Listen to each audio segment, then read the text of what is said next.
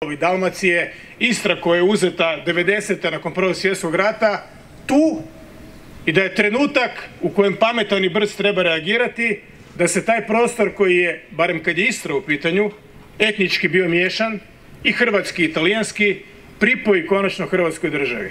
Tvrdi da je Istra više hrvatska ili italijanska je uzaludno. Ako pitate Italijana, ona je više talijanska. Ako pitate Hrvata, ona je više hrvatska. Tu razliku činili su dalmatinski partizani.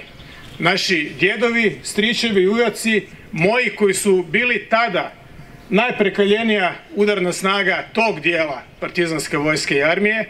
To je bio slavni osmi korpus dalmatinski, sastavljen od najprekaljenijih boraca s Neretve Sutjeske koji su mnogi prošli sve godine rata i koji su na kraju.